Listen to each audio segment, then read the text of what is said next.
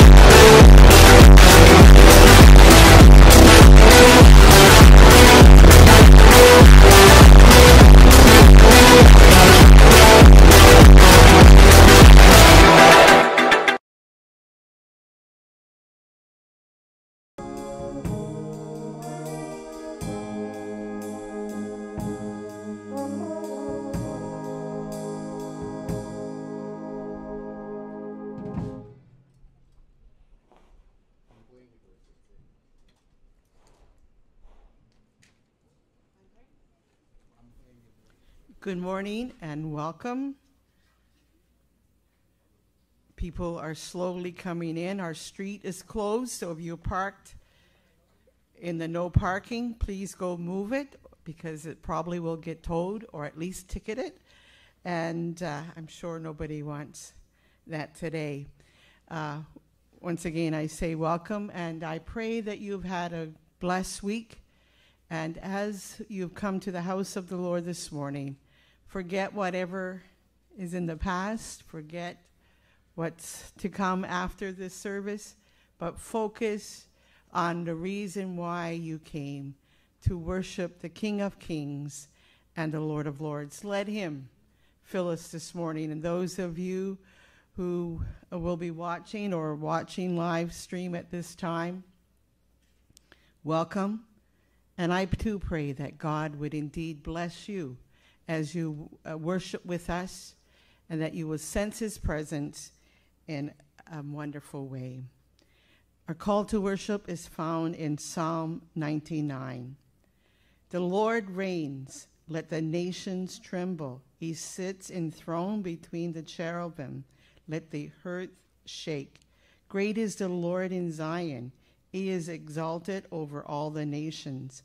Let them praise your great and awesome name. He is holy.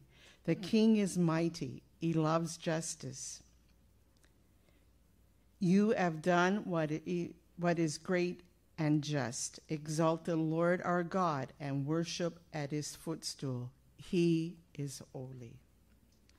This morning, our opening song is song, found, the words are, How majestic is your name, O Lord. O Lord, our Lord, how majestic is your name. O Lord, we praise your name. We magnify your name, Prince of Peace, mighty God.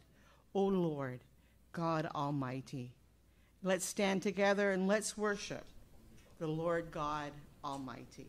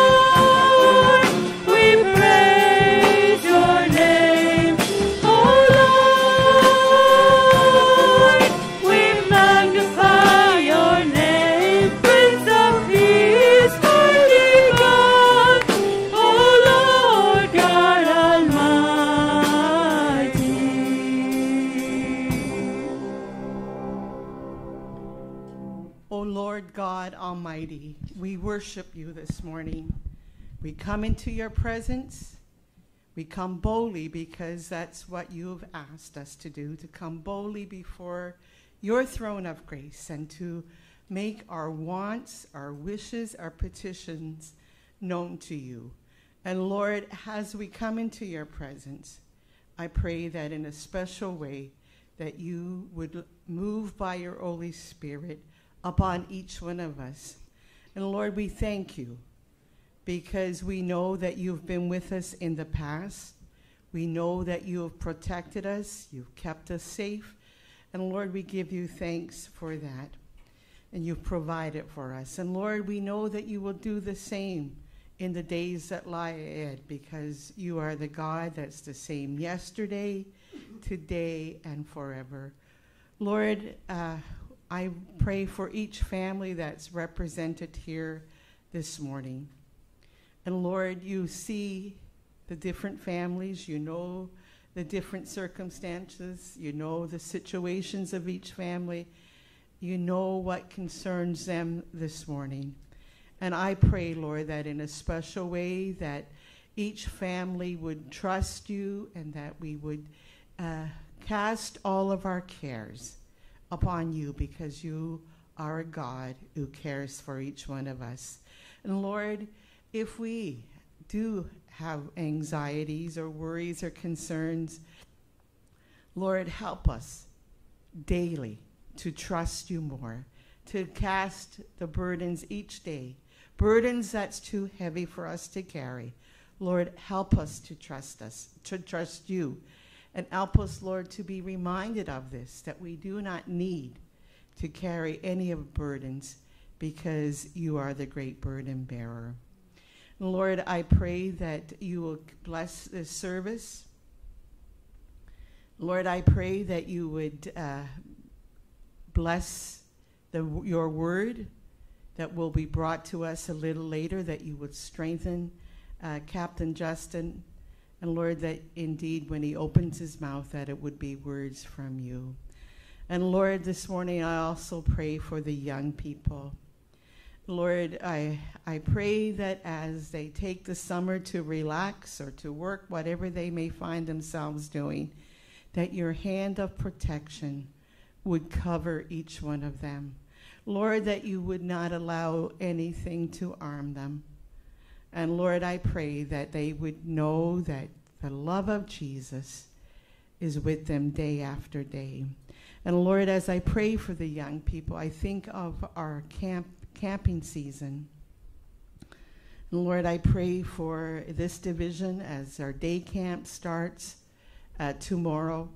Lord, as the young people have uh, studied, as they have reviewed, as they have looked at your word, uh, I pray, Lord, that when they meet the young people, the children tomorrow, that indeed what they have done will come back to their remembrance and that they would present your word through song, through scripture, through crafts and activities, whatever it might be.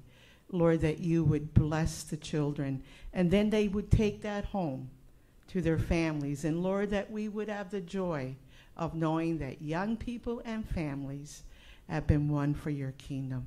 Lord, I pray for the leaders of these camps, not only in this division, but all throughout uh, Canada. Lord, as people gather, that you would indeed strengthen them, and may they realize that what they do is for you and your kingdom. Lord, once again, I ask that you bless our service. For this I ask in your name. Amen and amen. You may be seated.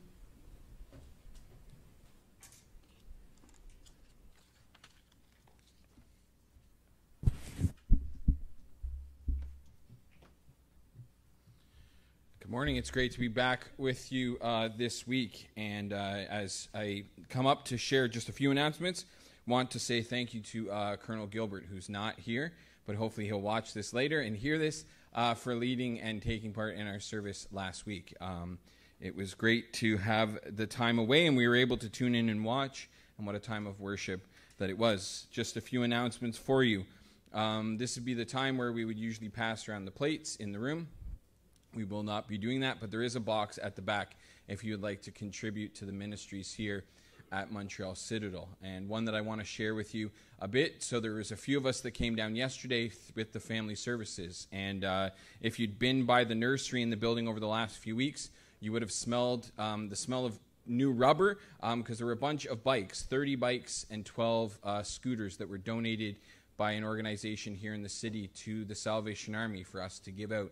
And so we had the privilege yesterday of handing out those bikes. And uh, what a, a, a, blessed time it was to be here and just to see um, little faces light up as they got a brand new bike and, and they to think about the possibilities and the opportunities that will be theirs as they ride those bikes and enjoy that time outside and hopefully with friends and all of those things from that. And so we want to say a huge thank you to uh, to Beatrice and to Nancy, to Major Florence and Elizabeth for uh, the work that was done for that.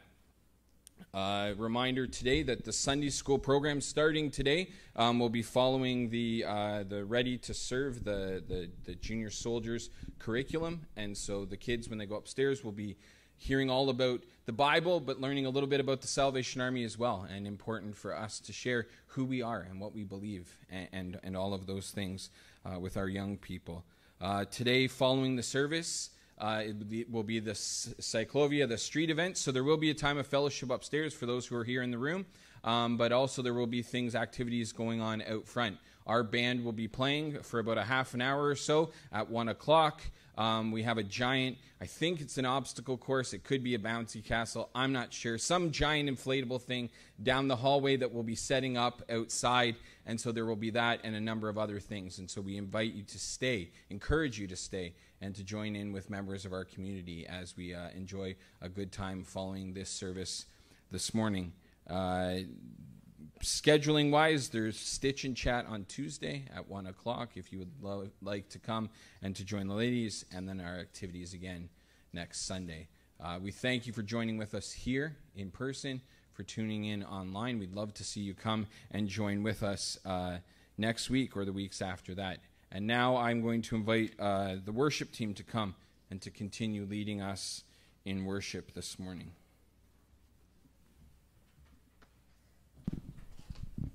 Good morning. Um, it's another privilege and opportunity to be here in the presence of God with the people of God. Um, and I invite you to stand with us as we um, worship our God, worship the, our God of love. As God is love, He's poured out His love through His Son, Jesus Christ. And in his life, his death, and his resurrection, we can live out that love to those around us. So let's worship together.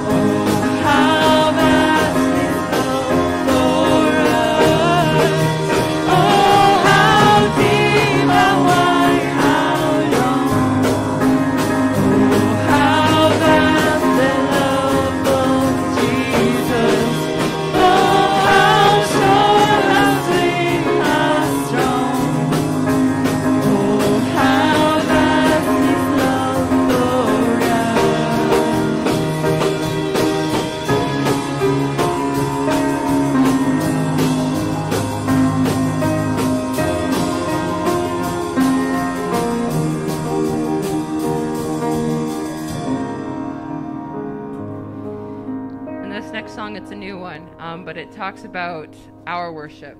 And worship shouldn't be just what we do in these four walls on a Sunday morning in the hour, hour and a half that we spend here. Worship should be a part of our day to day lives. Everything that we do is meant to glorify God. And so as we sing this next song, I pray that you would worship God for his love that does not only exist in this room, but in everywhere we go each and every day.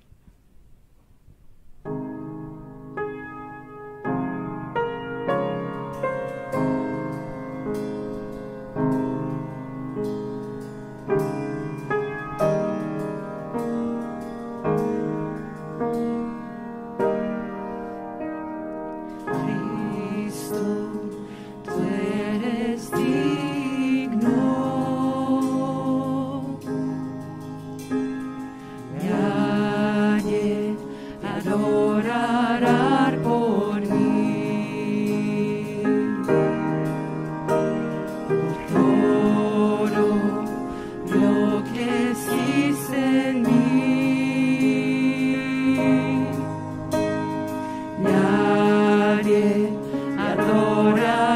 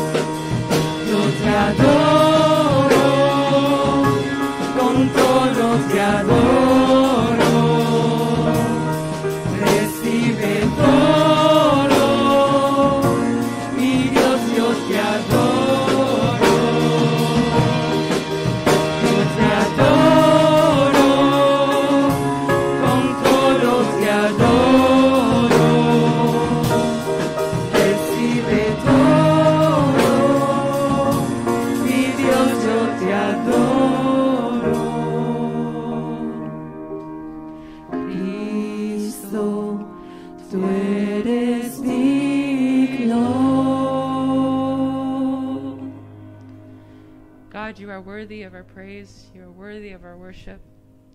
And God, as we continue in, in this time as, as the body of Christ, as a family of God, may we continue to worship you in everything that is said, everything that is sung, everything that is played.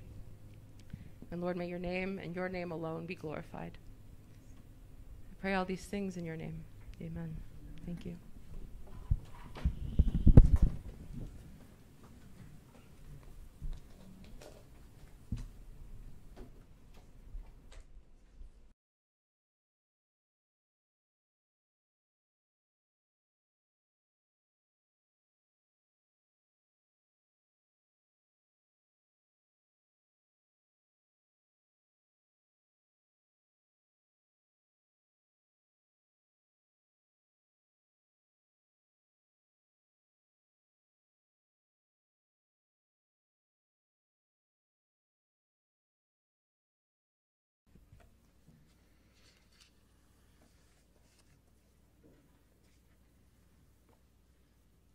Good morning. So we are reading uh, 1 Corinthians chapter 13.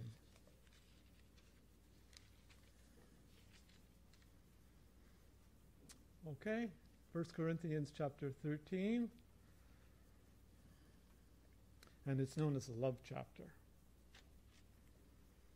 Okay, let's start. If I speak in the tongues of men and of angels, but have not love, I am only a resounding gong or a clanging cymbal. If I have the gift of prophecy and can fathom all mysteries and all knowledge, and if I have a faith that can move mountains, but have not love, I am nothing. If I give all I possess to the poor and surrender my body to the flames, but have not love, I gain nothing. Love is patient, love is kind. It does not envy, it does not boast, and it is not proud. It is not rude, and it is not self seeking. It is not easily angered, and it keeps no record of wrongs. Love does not delight in evil, but rejoices with the truth. It always protects, always trusts, always hopes, and always perseveres. Love never fails, but where there are prophecies, they will cease. Where there are tongues, they will be stilled. Where there is knowledge, it will pass away. For we know in part, and we prophesy, uh, and we prophesy, uh, prophesy in, in part.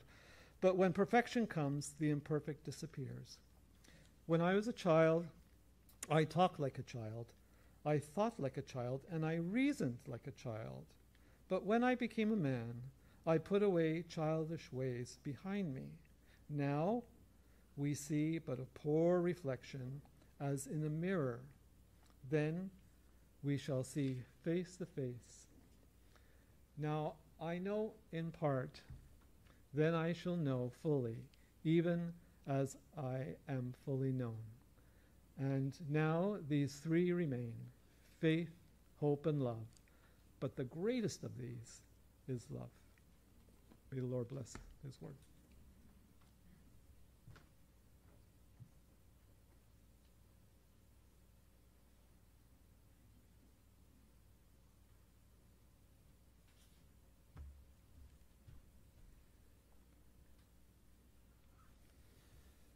Días. Hoy leeremos Primera de Corintios 13.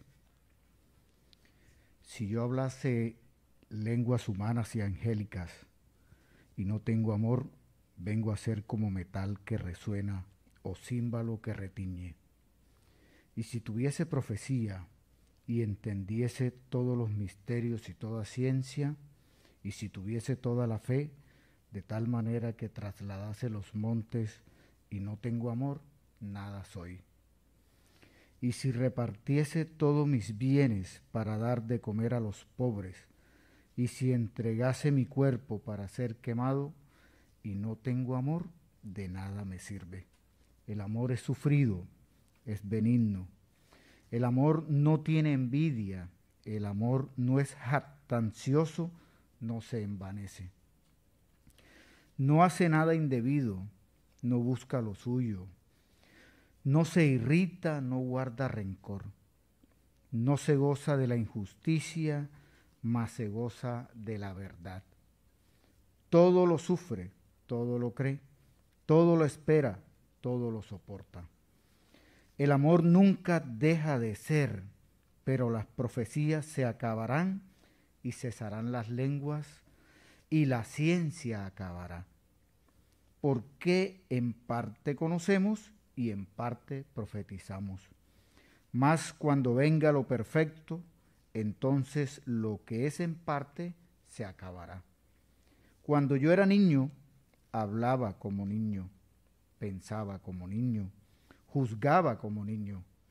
Mas cuando ya fui hombre, dejé lo que era de niño. Ahora vemos por espejo, oscuramente, mas entonces veremos cara a cara. Ahora conozco en parte, pero entonces conoceré como fui conocido. Y ahora permanecen la fe, la esperanza y el amor. Estos tres, pero el mayor de ellos es el amor.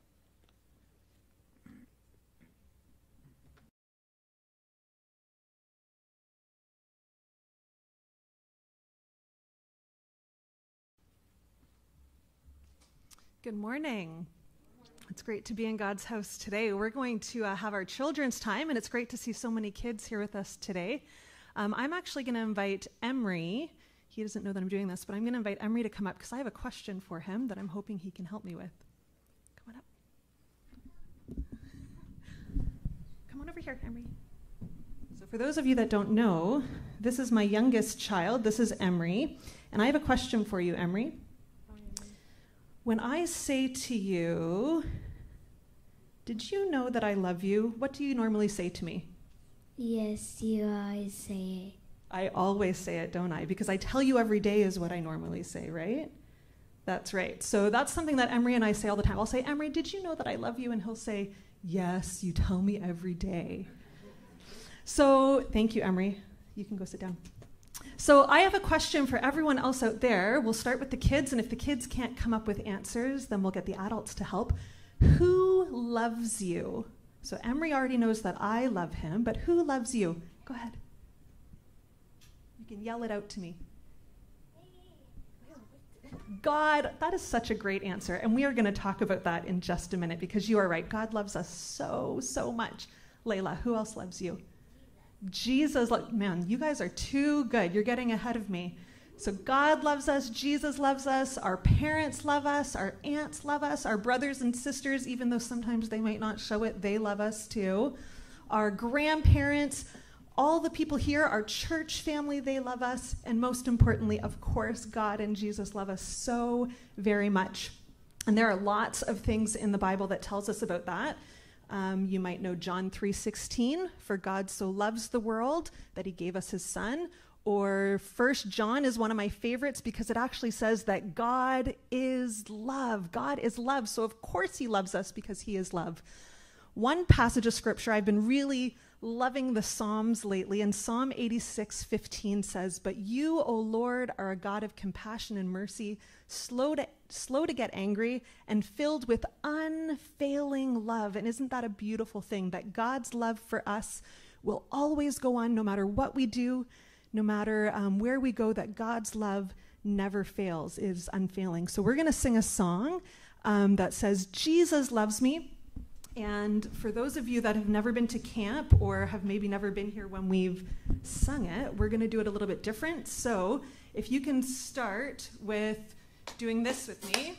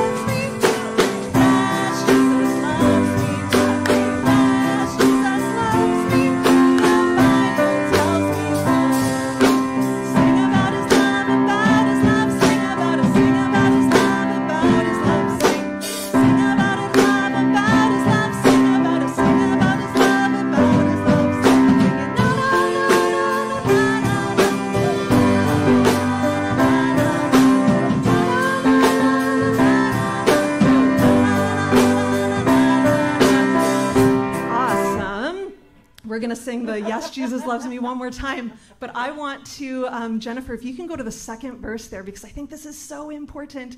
It says, Jesus loves me when I'm good, and I know all of you are so, so good. But it also says that when we make mistakes, when we're bad sometimes, when we maybe don't listen to our parents or we fight with our brother and sister, it doesn't matter because Jesus loves it. It doesn't mean you should do those things, but it does mean that Jesus loves us even when we make mistakes. So I want you to really remember that this week. We're going to sing this second verse and uh, the chorus one more time, and then I'm going to pray for the kids before they go to Sunday school. All right, so let's get our rhythm going again.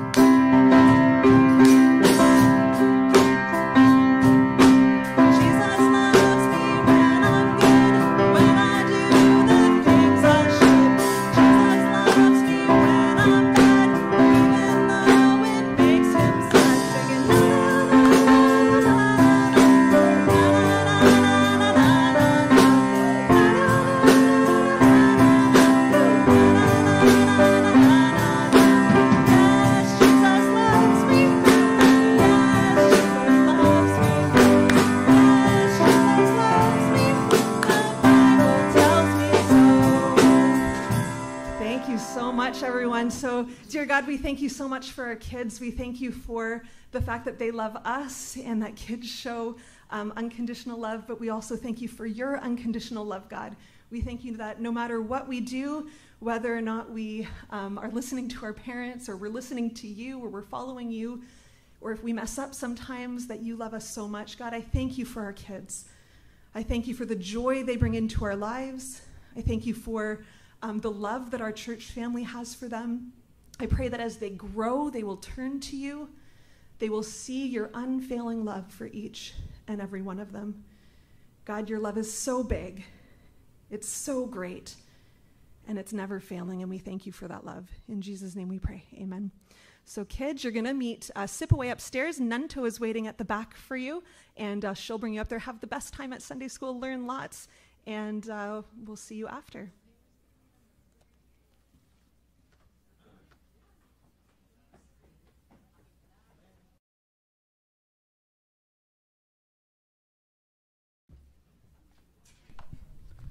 What a great reminder that Jesus loves us when we're good and when we're bad.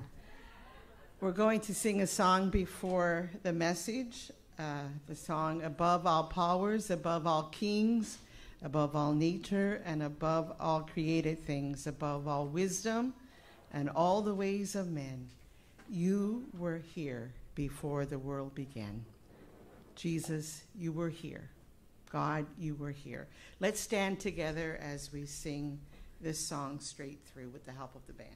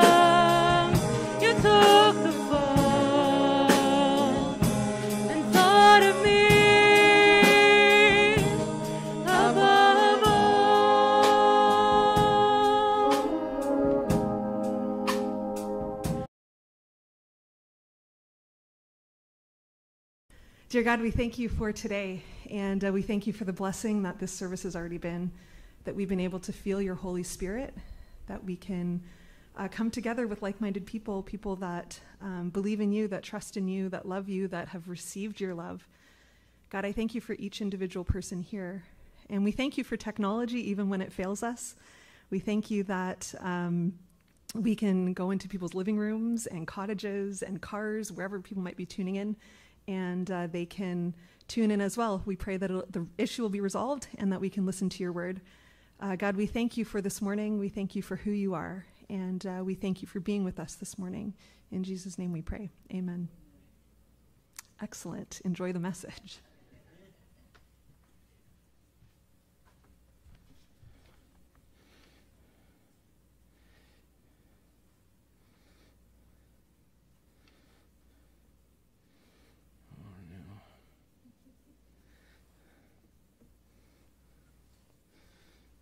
So we're going to continue in our sermon series, Fresh Fruit, and we're going to look at uh, over the next nine weeks the fruits of the Spirit that are listed off in Galatians five and twenty-two. And those fruit are love, joy, peace, patience, kindness, goodness, faithfulness, gentleness, and self-control. And Paul says in those words, "Against such things there is no law." And we're going to look at each of those fruit in detail and figure out how our world can be impacted when we have evidence of them in our life. And this morning we begin with we, we- we're going to begin obviously with the first one on the list. The one that Paul in our passage from 1 Corinthians 13 and 13 would say is the greatest of all. The one that Colleen mentioned a few moments ago, the Apostle John said, is the very nature of God in 1 John 4 7 and 8. The one that's mentioned over 540 times throughout the 66 books of the Bible and defines the entire story from in the beginning of Genesis 1 and 1 to amen of Revelation 22 and 21. A word that has been the basis or in the title for more than a 100 million songs, it's estimated and 5,700 movies. A word we use to try to describe a feeling that we have for our spouse or our kids, our parents, or the special people in our lives. That word that sometimes we struggle to say to a partner or someone who we have feelings for, uh, despite knowing it's true because of the fear that we might not hear it back from them when we say it. I, as a 13 year old, apparently didn't have that fear, as Colleen can attest, because I said it to her within two weeks of us beginning to date when we were young uh, and in love. And while it has that powerful of a meaning that we remember it now two times that many years later, it's also a word that has been watered down in our society, used to describe how we feel about someone's outfit or a flavor of ice cream or one of those songs or movies I mentioned ago that we, we love them. As you will no doubt have figured out already, we're going to begin this portion of the series by looking at love. Love that the first that is the first fruit listed in the of the fruit of the spirit. The first thing we see evident, evidence of in our lives when we become a new creation in Christ. It's the first because it's the fuel that provides the opportunity to see the others in our lives as well. Joy, peace, patience, kindness, goodness, faithfulness, gentleness, self control, all of those things are only possible because of love. Because of God's love. Because God is love. And because his love becomes a key in our lives. And to learn what love can do and look like in our lives, we turn to perhaps the most famous collection of love verses from the Bible. We turned this morning to the love chapter of 1 Corinthians chapter 13. Words that we have heard probably so many times during our lives that we could almost repeat them from memory. Words chosen a lot at people's weddings to symbolize the love that those two people have for one another. And yet, as I did some study this week into this passage, this was not the original intent for Paul when he wrote these words to the church in Corinth. This was a church, as we heard a few weeks ago, that Paul had set up and was now writing to address a number of topics that had led to divisions and quarrels among the people.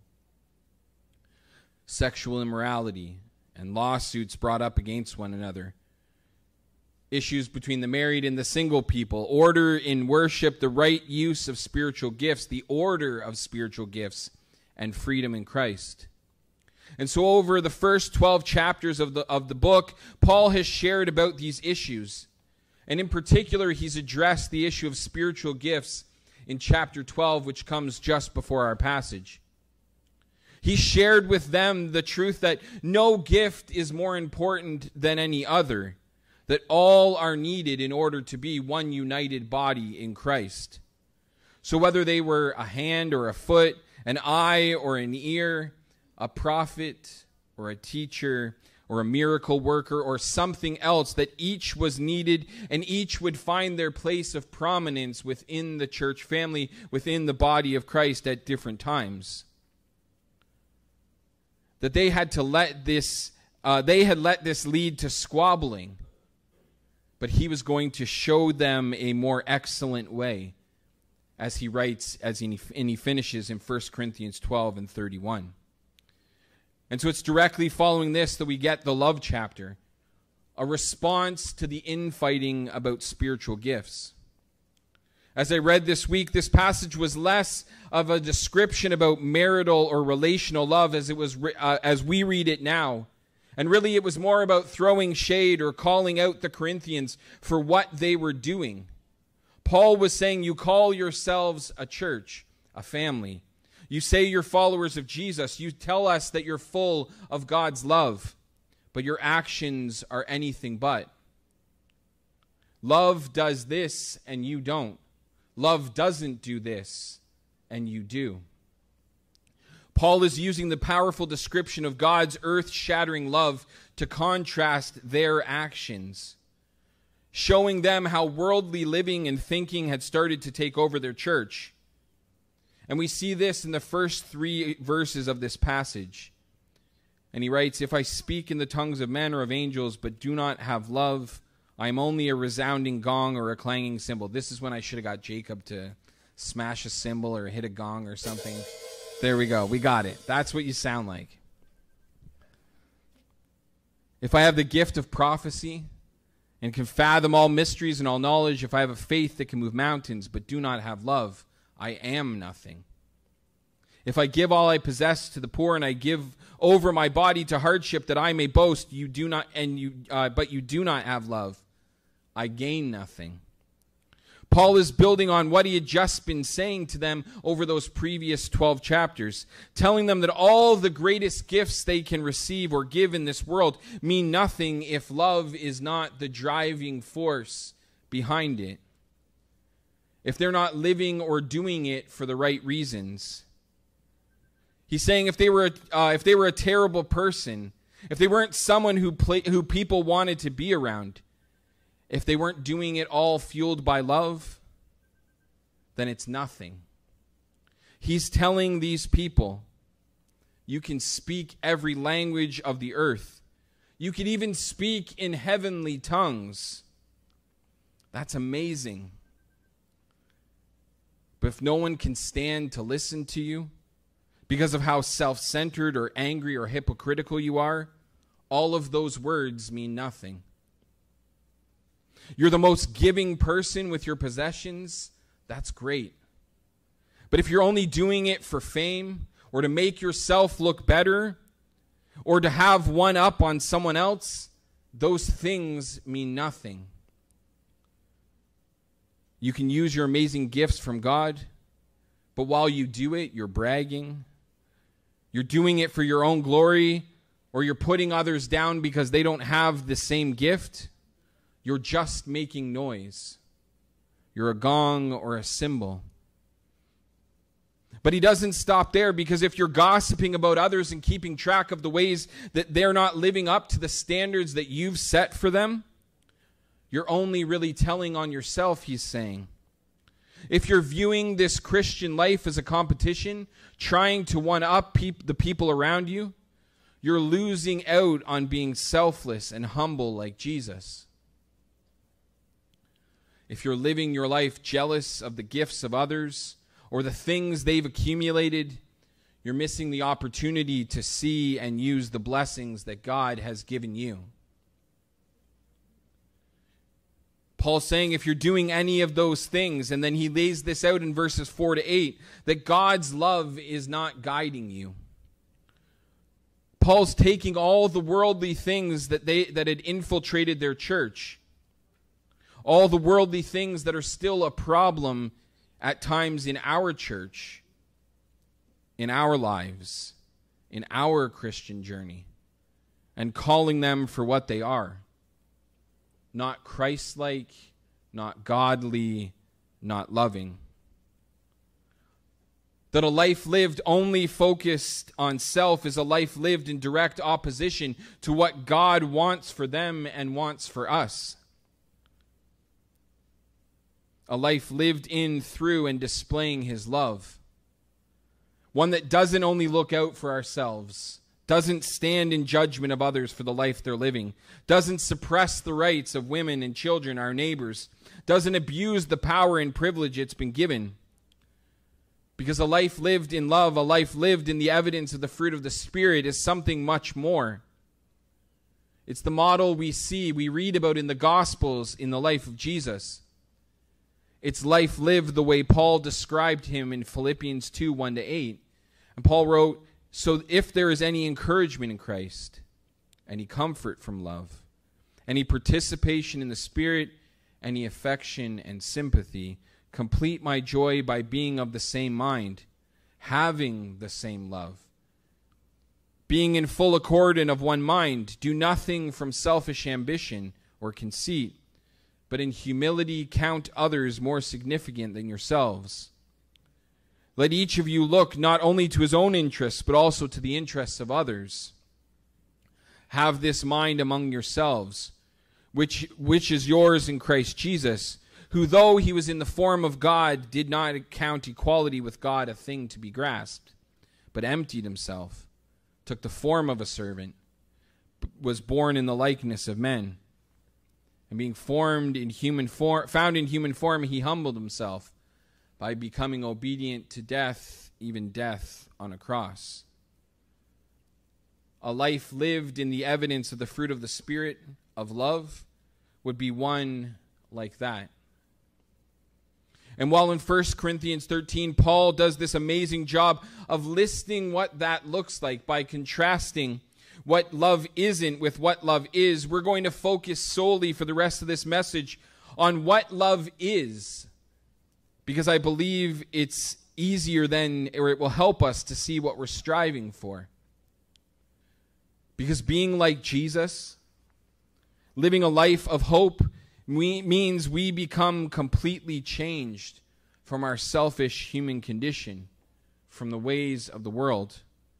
When we're full of the fruit of the Spirit, we become patient and kind with others including those we just can't understand or who get on our nerves.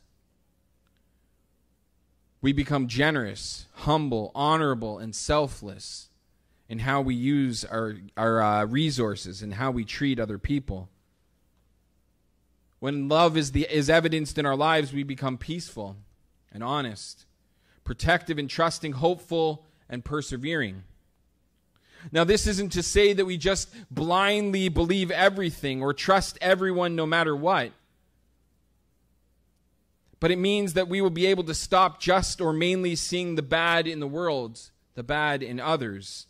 We'll stop seeing people for the worst things they have done. We'll stop looking at them with our flawed human vision, but see them through heavenly eyes. We'll see people as God does. Not for who they are, but for who they can be in and through His love. Not trying to change people to make them who we want them to be, but changing our perspective so we can be used by God to show a better way to live in love. Paul was writing this portion of his letter as a wake up call to a people in a time much different from ours and yet so much like ours. He wrote it to them, never thinking that we would be spending this time today to read it, to study it, to learn from his writings. But there is so much that we can take from Paul today. Because much of what they were struggling in their ancient culture is still around in our modern world. There are still examples of it in the church, at times in this church. We see it in others, and if we're being honest, when we look in that reflection of ourselves in the mirror, we see it in us at times too. But Paul's saying, I'm showing you a better way. Jesus lived out the perfect way. The Holy Spirit will give us the fruit of love in our lives when we accept Jesus into it and seek to live His way over our own. And living this way will allow us to live a better, more perfect, more Christ like way. And how will we know we're on the right track? That we have evidence of God's love in our lives? Because we will have peace and patience in our dealings with other people. Not just those who look like us or who are like us or who we like, but those who don't believe what we do, who struggle to understand why we would follow a God who allows such bad things to happen, who people who want to see, who we want to see come to faith, but who are unable to see how they are living a life outside of the will of God We'll have that peace and patience that will allow us to live out the words of Reverend Billy King when he said, It's God's job to judge, it's the Holy Spirit's job to convict, it's my job to love. On top of that, when we're showing evidence of God's love is in our love in our lives, we will find kindness in our hearts. Kindness for those who want nothing more than to hurt us or to see bad things happen to us. We'll find joy in every situation and circumstance. Whether we have a lot or a little, being happy in the successes of others and remaining humble in our own, knowing that all we have is a blessing for the one who gave it to us. When we have evidence of love in our lives, we will also find opportunities to be selfless and sacrificial in our relationships with others and in how we use our time, our talents, and our treasures. We'll take opportunities to be in ministry for Him through volunteering here at the Citadel or finding ways to be His hands and His feet in the communities where we live, where we work, where we go to school, where we find ourselves. When we have evidence of His love, we will use the power and privilege we have. Things we've gained because of position or prominence, financial affluence, because of where we were born, the language we speak, our gender, our age, or our race, not for our own benefit, but to bring about true equality for all people, to speak up for or enhance the voices that are being unheard, to fight for the rights of those in minority positions or who are being oppressed. When His true love is in our lives, it will make us an inclusive people who don't look down on or push aside, reject, or exclude anyone, regardless of their race, their religion, their language, their status, their gender, their identity, their sexual orientation, or any other thing that has been used to divide us. We will find the strength, the hope, and the perseverance to trust in God. To trust in His plans for our lives where there seems to be no hope in our circumstances We'll find hope in our struggles with our status here in the country, the political climate of the day, the challenges with finding work or trying to repair a broken relationship, challenges that come to us when we receive a troubling diagnosis, are waiting for results on health concerns, or see a loved one slipping away as they deal with illness. We'll find faith in the challenges in communicating with our neighbors, co-workers, family, friends, and others as we try to share with them the good news of what we know about Jesus. When you and I are living a life empowered by the fruit of the Spirit of love, Paul tells us we will be able to put away childish responses, reactions, and reasonings that get in the way of our relationships, our growth, and our witness to the world. That in being filled with love, we will see evidence of the other fruit as they feed on the power of God's love that is the fuel of our lives. That we will be a changed people. People changed for the better because His love wills us to it. A love that is contrary to our nature, a love that is contrary to our world.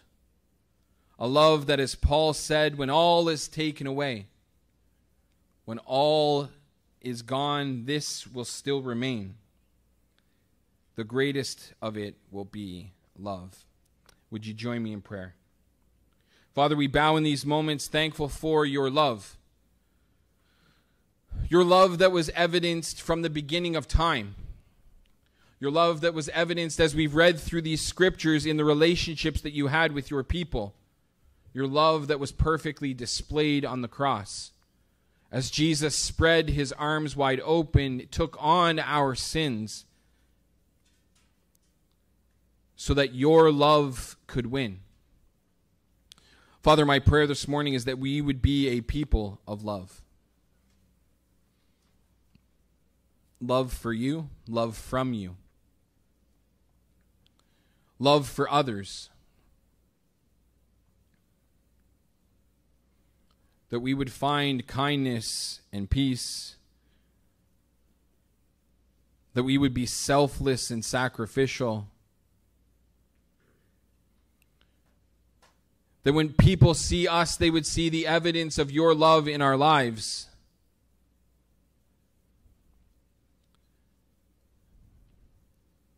Father, as we look around at the world that we live in, we see so much darkness and hate and division. At times we see it coming from your church.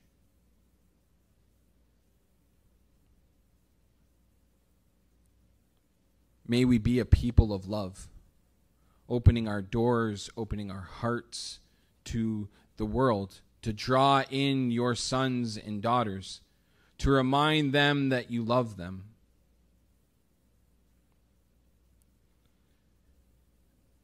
Burden us with the things that break your heart, Father.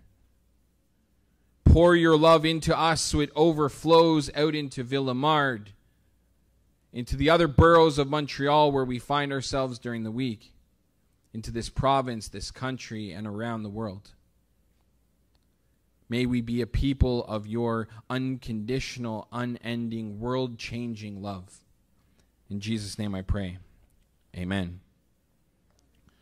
I'm going to ask the band to uh, prepare to play through our reflection song uh, over the next few moments. It says, He giveth more grace. As our burdens grow greater, He sendeth more, sendeth more strength as our labors increase. To added afflictions, He adds His mercy. To multiplied trials, He multiplies peace. This is what his love can do in our lives. This is what his love can bring us through. This is that same love that we then need to share with each other, with others, with the world. The truth that God is there, that God is love. Perhaps this morning you don't know that love. Whether you're listening in this room or you're watching online, you, you, you don't know that love. You haven't experienced that love. Well, God wants to share that love with you. We would love to share that love with you as well. Take these moments to ask God to just pour his love out on you. Perhaps the issue is some of that worldly thinking has started to come in. We've become envious or boastful, proud.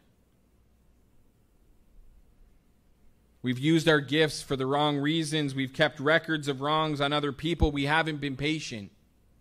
Perhaps this morning, what we need to ask God for is a refilling of His love so that we can be more patient and kind, selfless and sacrificial. Or perhaps this morning, it's just prayers of thanksgiving that you want to offer Him for His love. That He didn't leave us in His sin in our sin, sorry, that He didn't leave us alone, that the Holy Spirit is here, that through the Holy Spirit we can be His love into the world. Take these moments as we sing through these words to allow them to settle in, to reflect on them, to reflect on what you've heard, to respond as the Holy Spirit is leading this morning. To come to this place of prayer if, if that's where you need to come, to pray where you are, to pray at home, to write it in the chat, but to put these the uh, the wheels in motion, to start things moving forward, to be a more loving person, more loving example, to thank God for His love today. We're going to be led by the band as we sing down this hymn together. Respond as the Spirit leads you today uh, in God's love.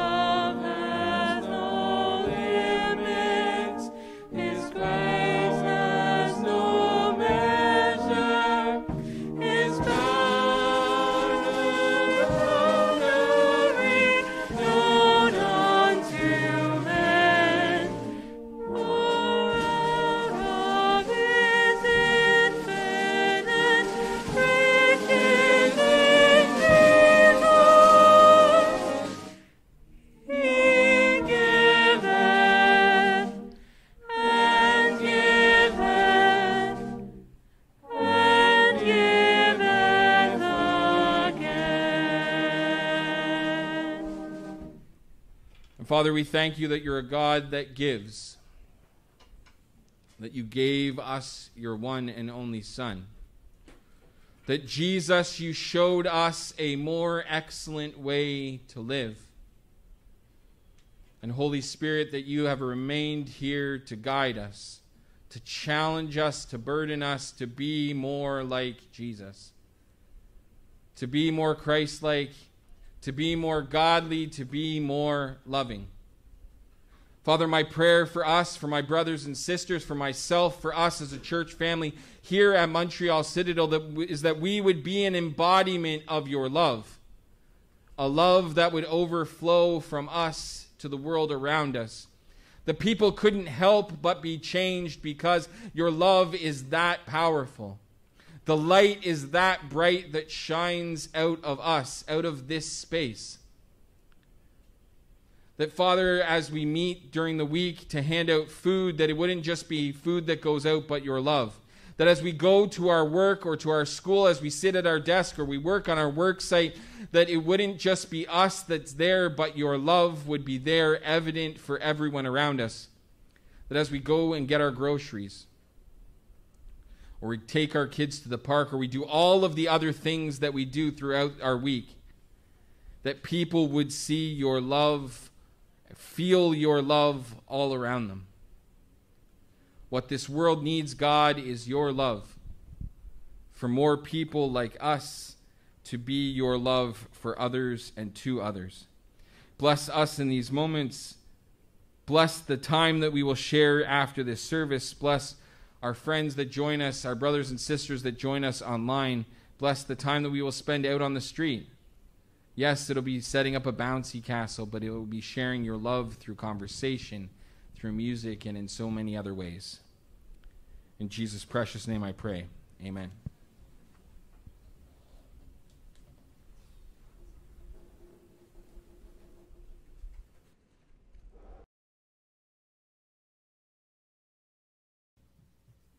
Let's stand together for a closing song.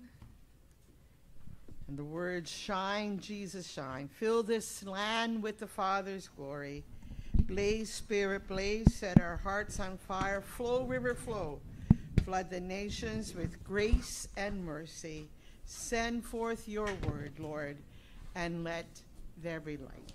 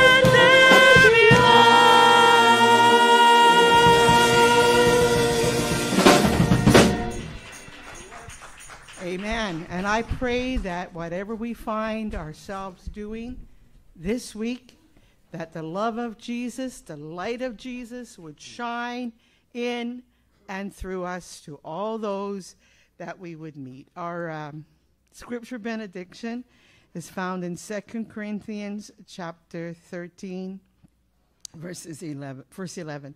Finally, brothers and sisters, goodbye. Aim for per- perfection. Listen to my appeal. Be of one mind, live in peace, and the God of love and the peace be with you all.